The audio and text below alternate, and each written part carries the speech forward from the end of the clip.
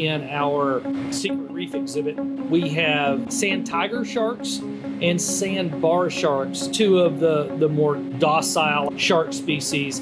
They really don't care anything about us being in the water with them. We do have some protocols that are in place we always have an individual on the dive team in water whose specific job it is to watch the sharks, and that individual carries what is called a bump stick, a piece of PVC with a cross piece on the end of it.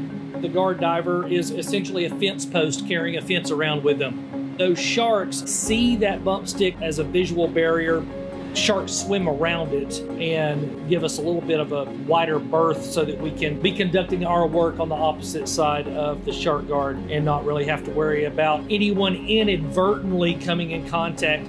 Generally speaking, we can be in there with the sharks and the divers with no issues whatsoever.